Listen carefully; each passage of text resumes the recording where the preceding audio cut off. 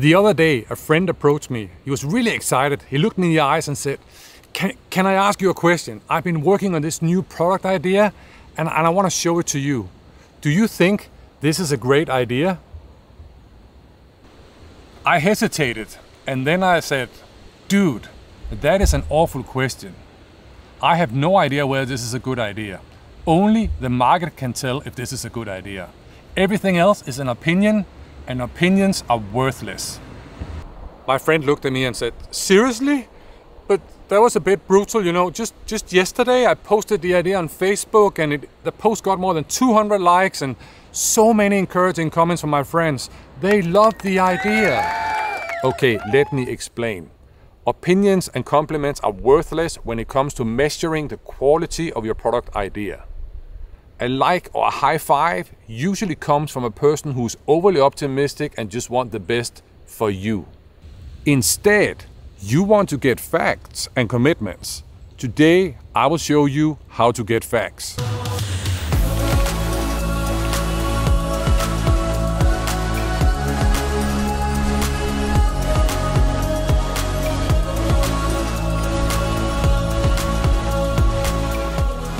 A while ago, I read a phenomenal little book called The Mom Test.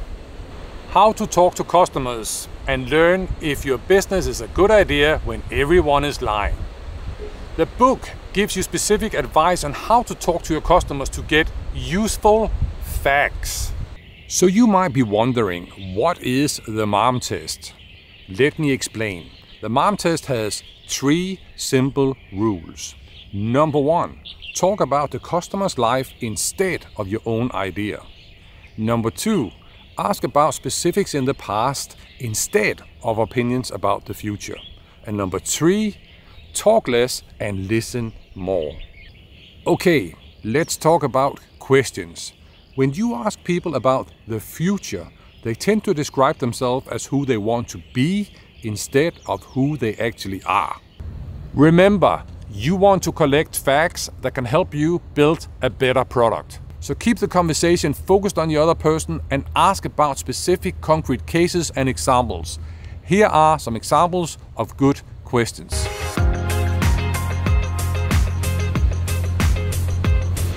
What are you trying to do? How are you doing it today? Can you talk me through your process? What do you love about it? What do you hate about it? What makes it so bad? Can you talk me through an example? How often does it happen? What does it cost you? How are you dealing with it now? What else have you tried? And who else should I talk to? It's a simple formula. When you ask better questions, you will get better answers. So ask questions about your customers' lives, their problems, constraints, their goals, and when you do, you will get more facts. Then listen carefully and take plenty of notes. Your insights will help you design a better solution. It comes down to this. You are not allowed to tell the customer what their problem is. In return, they are not allowed to tell you what to build.